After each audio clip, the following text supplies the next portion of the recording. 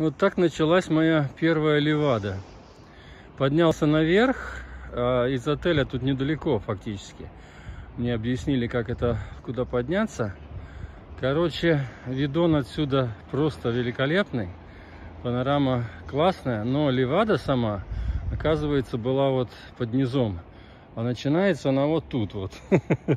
То есть идешь сначала, как бы она под тобой текет. А потом продолжается, вот сейчас пойду Пойду по ней прогуляюсь. Докуда эта левада идет. Все покедово. Левада вышла на дорогу, но там был указатель, надо немножко наверх подняться. Вдоль вот этой дороги, буквально тут 50 метров. И потом она продолжается, вот через дорогу переходишь, опять указатель, висит левада. И пошли дальше. Денек сегодня продик великолепный. Левада выглядит вот так вот здесь. Открыто и примерно полметра, может чуть уже, дорожка такая, по которой надо шлепать. Левада вдруг превратилась в такую тропинку, ну вроде там под низом она идет как бы вода, хотя не слышно, но я стою до сих пор на леваде. Сейчас посмотрим, что тут за углом. Арочка какая-то красивая выплывает что-то наверху, или дорожка, или тропинка узенькая. И дальше опять, опять левада открыта. Ну, просто супер. Коровы, кстати, пасутся тут, а банановые рощи. Просто обалдеть. Очень много ящериц. Красота. Ящерицы на Мадейре такие же наглые, как обезьянки на Гибралтаре. Пока я снимал майку, поставив рюкзак на пол, они уже успели забраться на мой рюкзак, но я их все равно люблю. Тут впереди интересный перекресток Левар. Сейчас покажу. Банановые плантации вот такие. И тут вдруг вот такой перекресток. Сверху текет вода, левада одна, идет вниз и вторая, по которой я гуляю, вот туда пойду дальше. То есть перекресток отлично. Второй раз Левада пересекает дорогу, вот там, где человек пошел туда на Леваду. Там я вышел, как бы, здесь автобусная остановка наверху. И я почему-то остановился, вот тут название этой Левады, по которой сейчас я иду. Левада dos Pure Nice. Pure Nice. Ну вот, и пойду дальше по, по Леваде, как нарисована на табличке. Здесь она под низом, под этими вот крышками. И дальше, ну дальше где-нибудь она начнется. Все, отличная погода. Потом надо будет срочно на море искупаться.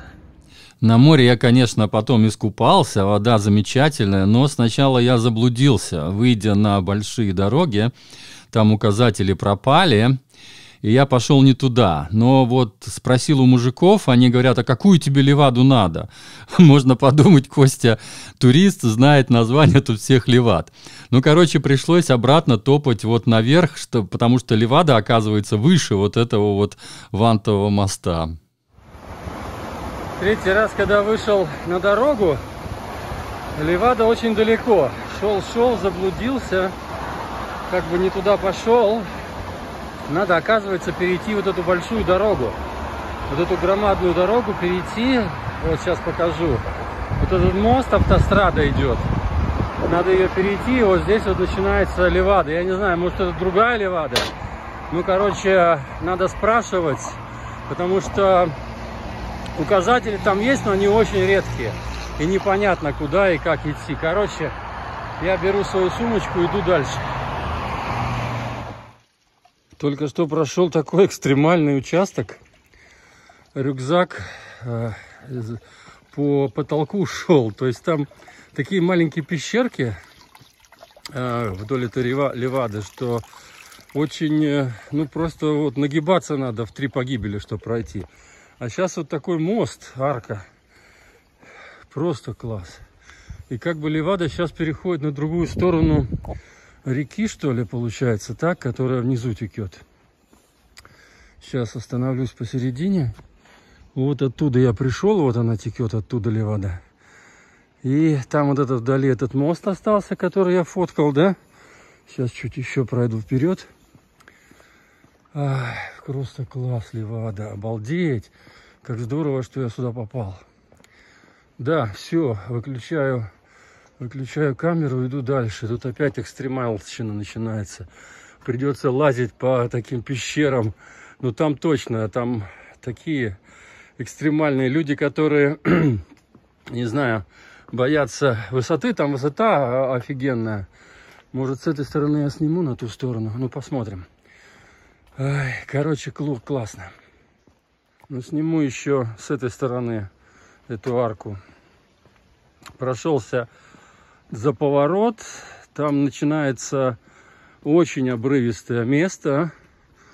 И скользко, там мокро сейчас. И у меня скользкие эти самые кроссовки, как бы. Я не рискнул дальше идти, там поручни нету. Точно так, как и здесь, в общем-то, поручни нету. Но там обрыв просто реально вниз сразу. И даже кустов таких нету, как здесь. Здесь хоть кусты справа, хоть как бы, ну, они как бы а, вид. Не, не боишься так сильно высоты. А там вообще обрывается и, и это вот такой песок. Здесь вот на дороге этот красный песок. И вот он скользит. Я уже знаю по вчерашним горам, как он скользит. Поэтому я не решился идти. Там перил нету. Короче, иду сейчас обратно. Сейчас попробую впереди там снять вот эти экстремальные э, пещеры, которые надо пролезать на карачках почти. Вот, все, пока. Окей, сейчас попробую записать, пролезу ли я через такие вот проходы. Рюкзак наверху. Просто высота вот такая, внизу какая-то там стройка идет.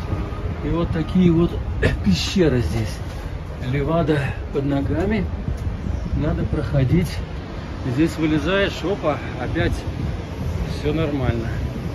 Сейчас пройду вперед, только что первый раз вытащил селфи-палку.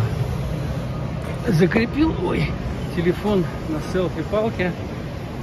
Левой руке держу, правой за перила цепляюсь.